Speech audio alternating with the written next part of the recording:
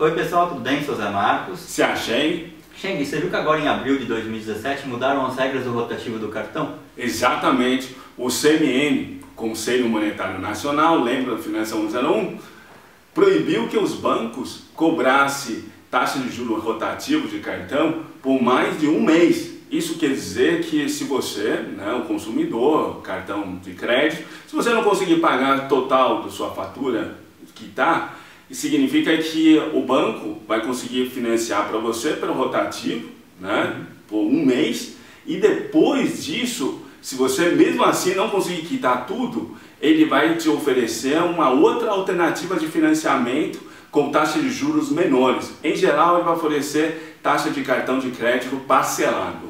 E o que, se implica para a gente, né, consumidor, para quem está devendo no cartão, na prática, em, em isso, números? Não, isso é bem interessante, porque se você pensar que pela, pelo Banco Central, pesquisa do Banco Central, a taxa de juros rotativo de cartão hoje está beirando 16% ao mês, é, em ano dá uns 500% ao, me, ao ano. Nossa, isso quer dizer que se eu dever no cartão 100 reais, no fim de um ano eu vou ter que pagar 600 por banco, né? É, se você insiste em não quitar, sim, né? mas, mas vamos pensar assim, que como o banco ele não, não pode mais financiar sempre no rotativo, que depois de um mês ele vai oferecer outras alternativas. E a gente estava falando que taxa, taxa de cartão parcelado está em torno de 7,80%, 8%, que gera em torno, sei lá, 200% ao ano. Né? Uhum. E isso significa que se você comparar a taxa de juros, ele vai do ano de quase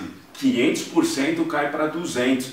Isso já vai muito não, o que o pessoal estava defendendo, o grandes banco já estava defendendo, o uso de crédito consciente. Só que agora o governo simplesmente oficializou. Né? Uhum. Na verdade, os, os grandes bancos já estavam trabalhando nesse sentido por causa de elevada taxa de inadimplência, que as pessoas não conseguiam pagar. Então, todo mundo já estava trabalhando com a queda de taxa de juros no cartão de crédito. É, é interessante porque baixou de 500 para 200, 150% ao ano, mas ainda é uma taxa elevada. Então você que está com algum problema no cartão, é sempre bom organizar suas finanças direitinho para evitar usar o cartão de crédito de uma maneira errada e estourar o, o cartão, né, Shen? É, isso tem outra implicação interessante, porque você lembra dos nossos outros vídeos, ainda falava de taxa de juros de cheque especial. Uhum. Como taxa de juros de cheque especial estava cobrando, né, pelo site do Banco Central, em torno de 12%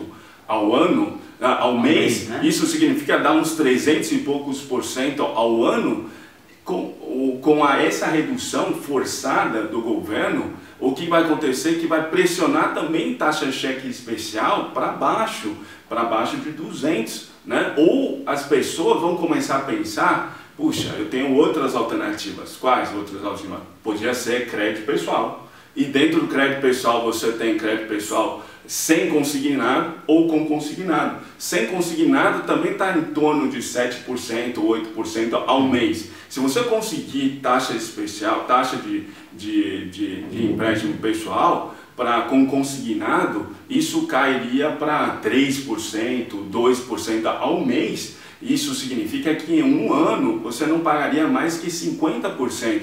Olha a distância entre 500 que você pagava né? E agora poderia, já pensando melhor, o uso consciente de crédito cai para 50% ao ano. Será que não é uma grande economia para você que poderia continuar consumindo, só que há uma taxa de juros muito, muito menor? Ah, com certeza, né? Precisou de crédito, tem que ser consciente, pensar bem, planejar bem suas finanças para fazer o melhor uso possível e ao menor custo, né? Não dá para a gente ficar pagando taxas exorbitantes aí por falta de conhecimento. Por isso tem o Finanças 101, né, gente? É isso aí.